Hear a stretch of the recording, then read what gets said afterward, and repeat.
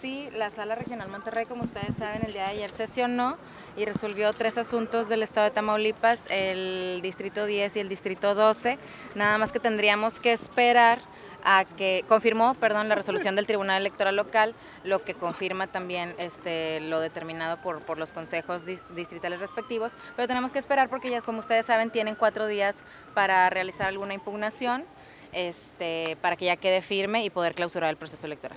¿Hay otra instancia todavía? De, esta... Sí, podría, podría quedarse un, un, recurso de reconsideración ante Sala Superior, así es. Así todavía es. pendientes recursos de revisar por parte del tribunal? O sea, todavía no se puede cerrar el año electoral. Solamente tendríamos que esperar esos dos. Este, si no son impugnados, podemos clausurar el proceso electoral. O sea, los del distrito 10 y 12. Así es, así es. Así es. ¿Y es ya todo el trabajo de este año electoral?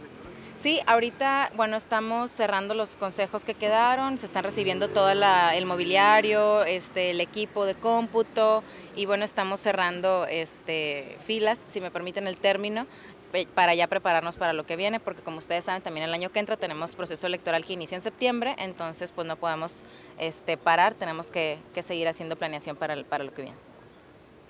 Muchísimas gracias. Con permiso.